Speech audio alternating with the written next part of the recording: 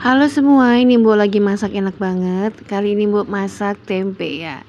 Tapi ini beda karena tembenya tuh nggak pakai tepung terigu ataupun tepung beras, tapi tepung ketan.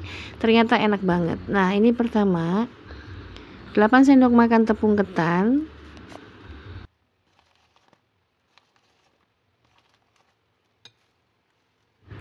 Lalu campurkan 4 sendok makan tepung maizena agar nanti hasilnya renyah garing. Campur dengan 2 batang daun bawang, 7 buah cabai merah dan 5 lembar daun jeruk, 1 bungkus bumbu marinasi atau bisa diganti dengan 1 sendok teh kaldu bubuk dan seperempat sendok teh garam.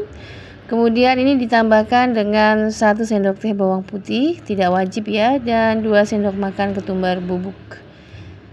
Udah deh, lalu campur dengan 350 ml air atau sampai nanti kekentalannya seperti ini ya.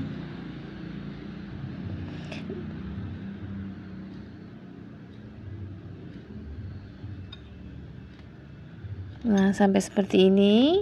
Nah, ini agar tambah renyah, tambahkan kurang lebih 2 sendok sampai 3 sendok makan minyak. Ini kunci kerenyahannya. Resep pedagang nih.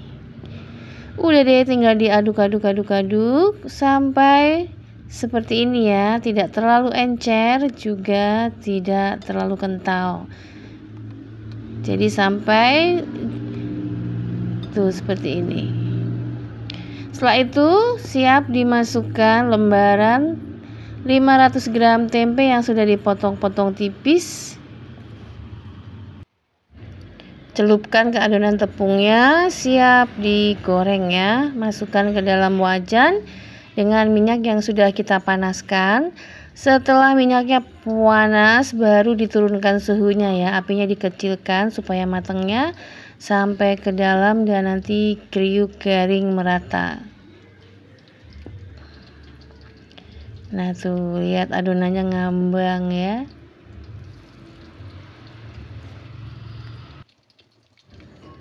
Kita bolak-balik ya agar mateng dan garing merata. Goreng sampai warnanya kuning kecoklatan merata atau sesuai selera ya. Nah, nanti dia sudah mulai akan mengeras. Nah, lama-lama dia akan kaku ini masih agak lembek ya. Dia lama-lama akan kaku.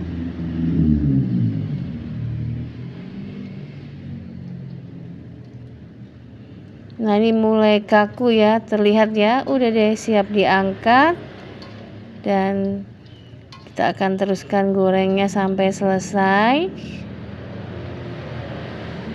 Jangan lupa minyaknya disaring dulu ya, maksudnya diserokin, jangan ada yang tertinggal remah-remah tempenya supaya saat gorengan selanjutnya tetap cantik tempenya. Nah, ini ya, kita masukkan.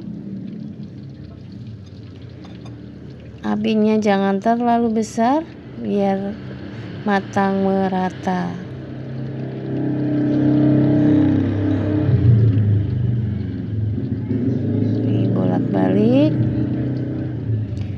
Udah deh.